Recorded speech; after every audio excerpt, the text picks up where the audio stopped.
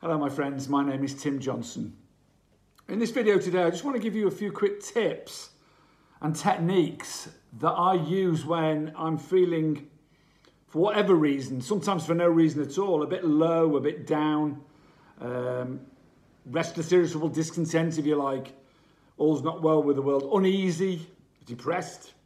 Uh, you know, all these things are all part of life, whether you're sober or not sober. You know, it's... Um, but in sobriety, obviously, and particularly early sobriety, things are magnified. And uh, us alcoholics and addicts, or I know myself, love a bit of drama and love a bit of, um, I don't know, self pity, if you like, and self hatred. And so, if you're feeling in that sort of low spirits and for, for whatever reason, it can be quite dangerous unless you alter your state of consciousness if possible and, def- and deflect that feeling and uh, get your mind off it. Because if your mind starts to run away with you and makes pictures, as it inevitably will, you'll be full of fear all of a sudden. You'll be projecting into the future. You'll be frightened to leave the house even sometimes. You know, it, it can really magnify until you're in such a,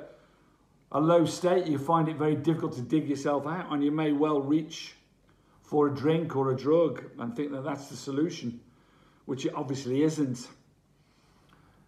You know, being sober takes daily, sometimes hourly, minutely, by the minute work sometimes. You have to take action. You have to put work in to get those benefits out, you know. And I've got now a life that I didn't see that was possible uh, even a few months ago. And it's because I've surrendered to my addiction, but it's also because I'm using these techniques I'm going to share with you often on a daily basis. And sometimes you know by the minute and by the hour even if I'm not if I'm not feeling right. And it's really important to keep your thinking on the right track because it can lead you it certainly leads me down to um, down some dark alleyways and it leads me back into sort of ego and self-seeking. It takes me out of the moment as well, as I say. And when I'm out of the moment, when I'm not in, you know, in the present moment, I'm looking back into the past at regret and, and, and anger and resentment, which is absolutely useless emotions, and there's no need for that. And also projecting into the future um, and painting pictures which scenarios which never happen. And I said in the last video, you know, most of the worst things in our life happen in our imagination. And that's a very true saying. So you can wake up at any time, like I say, sober or not sober, early sobriety or 20, 30 years into sobriety, and feel that uh, things aren't well with you and the world, you know, uneasy and restless, particularly in the current climate. God knows we've we've all got a lot, a lot to deal with at the moment with worry about, you know, we've had the last two years of COVID, we've got climate change, disasters all over the place, and we've got now a, a war in Ukraine, which is, you know, a disgrace, and and and um, it fills you full of worry. It fills you full of worry for your family and for your future, and so to avoid your head going down these avenues, it's good to practice some certain techniques. And, you know, one way that I change my consciousness every single day without fail, and there's a video on the channel on it, so please have a look. Well, several videos actually on it. I think one's the most watched video on the channel, and that's the Wim Hof method. And um, breathing techniques. I mean, if and if you don't like those, there are yogic breathing techniques, pranayama and uh, meditation te breathing techniques, which will do the same sort of thing and alter your consciousness. And um, but the Wim Hof one does it, you know, instantaneously if you like. You have to put work in, and also alongside that there is cold water therapy or cold therapy if you like, um, and that just means uh, basically jumping in a, a cold shower. You can do that gradually over a period of time by getting into sort of a warm shower and get letting it go cold for 20 seconds and the next day increasing it to 30 seconds until you're able to get in to a cold shower in the morning. What that does, it alters your state of consciousness. It's an incredible feeling. It's uh, alongside the breathing techniques, which you do before the cold shower, or I do anyway. Um, it, it really does push your mind away from all of that trouble. It energizes you. Uh, the cold will not only bring all sorts of benefits and, and also that consciousness, it will boost your immune system. Um, it will bring you uh, positivity and energy for the day, um, boost you and start your day in a, in a perfect way, if you like. Uh, that's one thing that I do on a daily basis. Another thing is um, my daily gratitude list. And I've talked about this hundreds of times, and I'm sure you all know uh, about gratitude, but it is the single best thing to do to alter your state of consciousness. In other words, it doesn't matter how down you're feeling. And by the way, all of everything I'm saying now, some of you out there might be suffering from um, obviously serious depression, the uh, bipolar depression, serious that you're on medication for, um, or schizophrenia and various other mental illnesses, which you know are, are not really what this is aimed at. Although these techniques will help in a certain way, what I'm I'm not saying is like ignore your you know treatments and seeing of uh, the psychiatrist or the doctor, or whoever you're seeing, and your medication, because that's very important. Obviously, if you have serious um, mental illness. Uh, but this is just for sort of day to day. I mean, I was I was diagnosed with depression, and um, at one stage they said it was bipolar, and I think it was more to do with the hole in my soul that I seem to have from a very young boy, which was more to do with addiction and pain. I, I seem I to be sort of born with that hole in the soul, if you like, and um, from a very early age, you know, uh, was was stealing my mum's vodka and pills um, just to alter that my state of consciousness in that way to get through the day because I was so afraid of actually leaving the house or and certainly mixing with my peers and other people um, and to avoid and to be accepted because a, a, lot of addicts and alcoholics like to be the center of attention you know they they like the drama that's around all of that um, although when everyone looks at them they're frightened to death and, and hate it. so to avoid that feeling of uh, fear and fright, they generally cover that up with um, pills and alcohol or whatever it is that you're into, whatever your addiction is to change the way you feel. What I did was use pills and alcohol to um, be the maddest and the baddest and the craziest, to be accepted by my peers.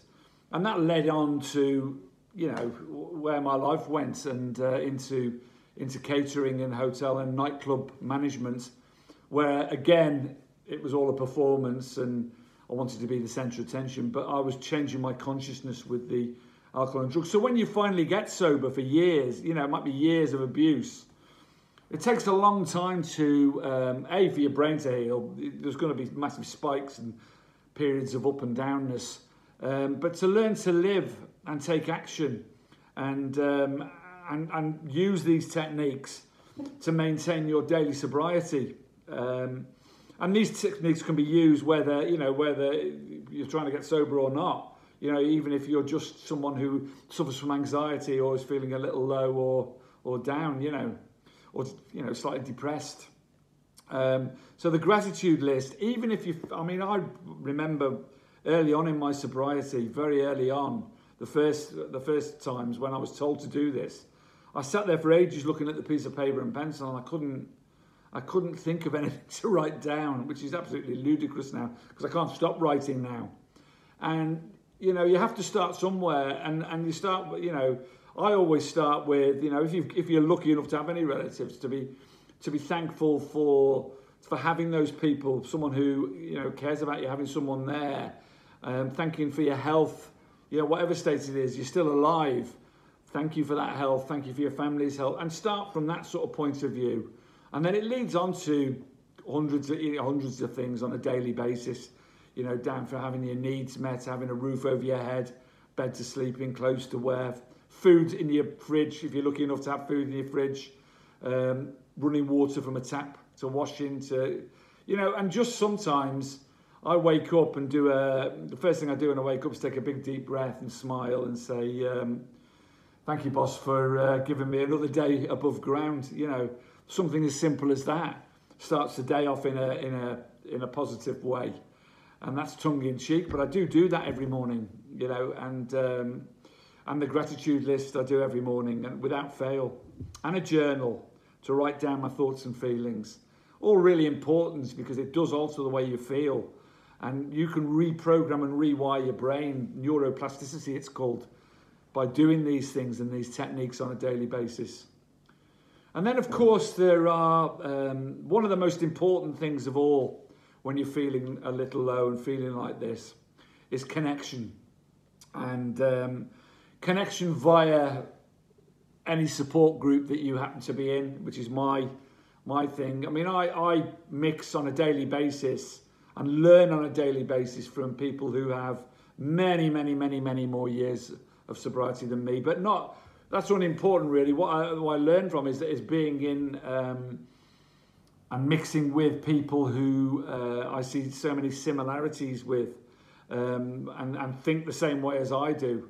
Um, and we all, you know, we learn from each other.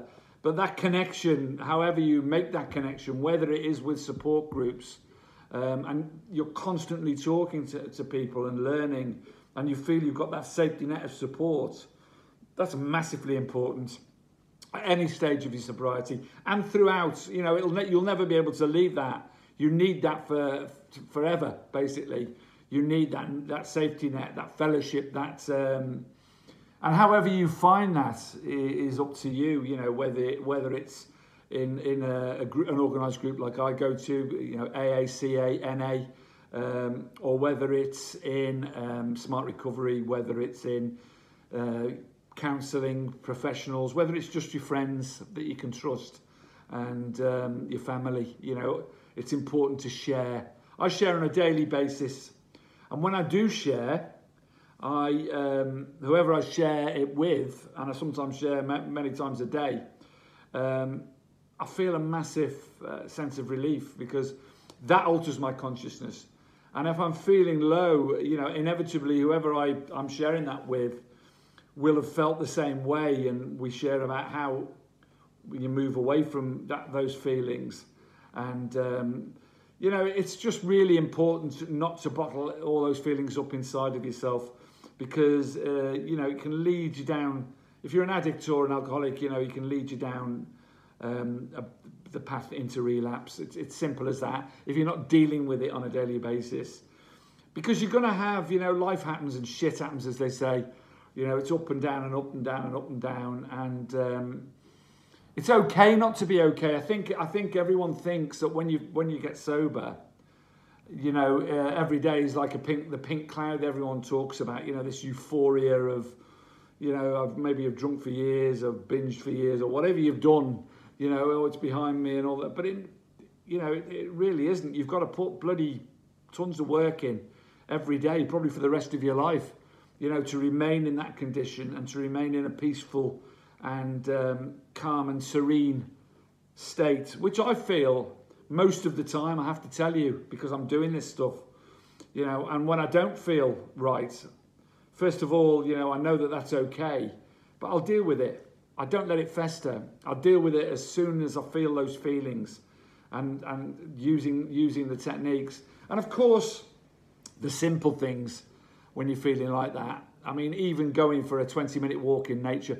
Being in nature, there's something about nature. Obviously, we are part of a, a massive um, whole, aren't we? You know, uh, in this universe we live in, and we are nature. We are part of nature, and to be in amongst it literally um, gives you a calming energy. Immediately you're amongst it. You know, and if you're lucky enough to live in the countryside, then great. Get out for a 20 minute walk, even a 20 minute walk, more if you can, in the fresh air or some form of exercise in the fresh air where there's daylight. Doesn't matter if there's no sun. If there's sun, it's even better, of course.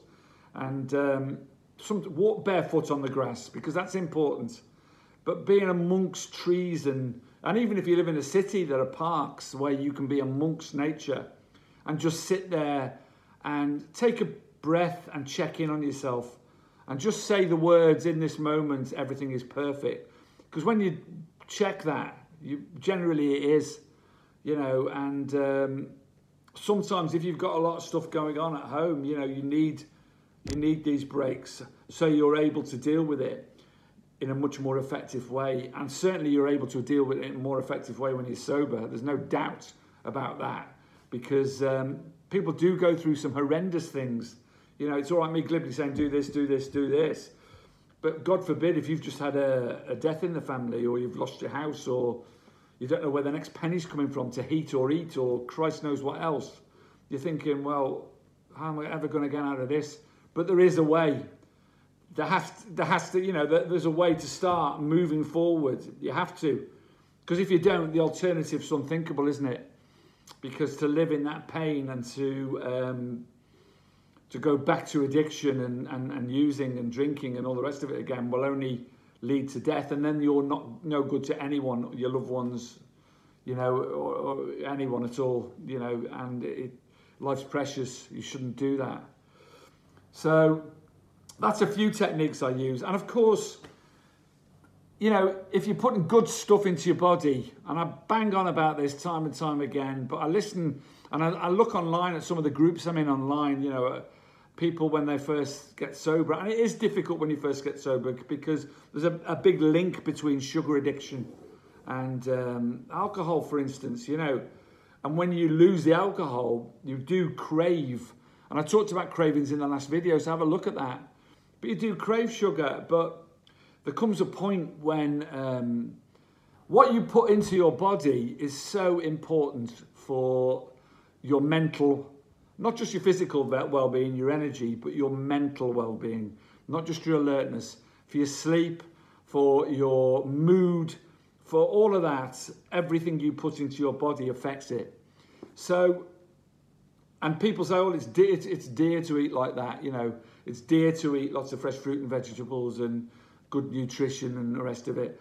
Well, if you shop around and go to small fruit shops, you know, no one's saying buy organic all the time, like if you can't afford it but you can eat a really good, balanced, healthy diet on a you know on a, at a reasonable price. And at the end of the day, before that, you were spending all your money on booze and drugs and Christ knows what else, gambling or whatever your thing was or your addiction was, you know, and use that money that you're saving to feed yourself good nutrition, you know, and to treat yourself now and again to nice stuff, to travel, to do all the nice things in life, to buy presents for your family and stuff that I never did when I was in um, addiction because every penny that I had or, or stole or scrounged or everything else went to feed my addiction addiction because I went to any lengths to feed it. So you should go to any lengths for your sobriety. That's what's important. So altering your state of consciousness in whatever way you can. And then of course prayer and meditation, extremely important. Whatever you're no one's saying um, banging on about religion or anything else. Whatever your thing is, it's fine. You know, meditation and prayer go hand in hand sometimes. And spending time doing that and using the correct breathing techniques while you're doing it will alter your state of consciousness and will bring you peace you know and, and that even that time alone using that time alone will do that for you um, so there's just a few little things um, I mean, there are there are there are more things. You know, a daily routine is really important. You know, and sticking to that routine, even down to making your bed in the morning and and, and showering and having a wash. All the things that you never used to do um, when you were in addiction. You know, it's really important to have those things into your daily routine. But I think the most important of everything I've mentioned is the connection, is having connection. Because as addicts and alcoholics, we tend to isolate I know towards the end of my uh, drinking and drug taking, I was just shut in a dark room, waiting to die, taking uh, drugs and drinking alcohol. And the only time I ever left that room was to try and get my hands on more of it. So don't get yourself in that, ever get yourself in that position, unless you've already been in it, you'll know what I mean then. Um, always try and keep connected to people and keep talking to people, whatever groups you're in, doesn't matter each to their own. You know, we're all you know perfectly imperfect, as I always say. So I hope that's been of some help for you. And carpe diem, seize the day.